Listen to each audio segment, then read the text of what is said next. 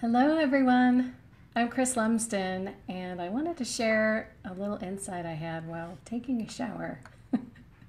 it's funny, I was watching, um, my husband and I were watching the movie Constantine the other night, and there's uh, one scene where he puts his feet in the water to, um, you know, work with both worlds.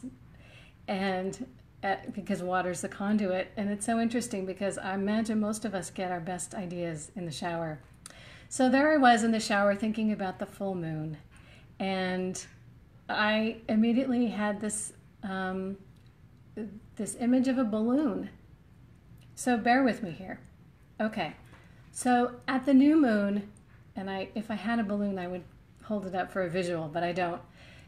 At the new moon is an empty balloon, and we set an intention, you know, and so we start blowing into the balloon, and the balloon expands.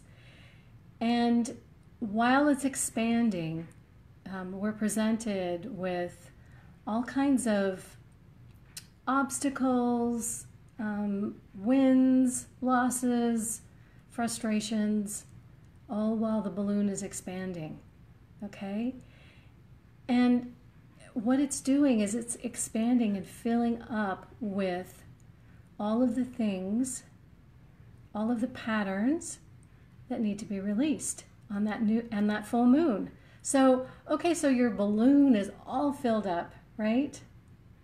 And then it's the full moon. Okay? And you're presented with the option. Do you continue with the patterns?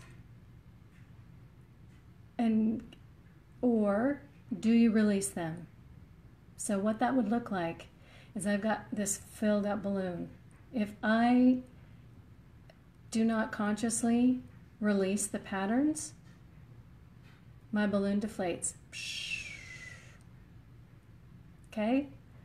If I choose to consciously uh, begin to release these patterns, if I say, I see that, that doesn't work for me, I need to change that, and I've got this full balloon, it's as if I'm taking a pin and popping the balloon.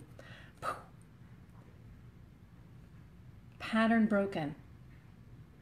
It's that it's that hard stop. It's that um, you know I am aware that this that I'm doing this thing, and I now say I'm not going to do it anymore. Sure, it's going to creep back in little by little. It always does. It tests us but you've broken the pattern. And that's what you do at a full moon. The, the balloon's destroyed, right? The balloon's destroyed.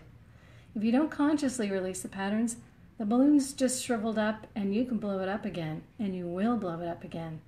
And I just wanted to share that with you all. Um, we're coming up on a full moon Monday.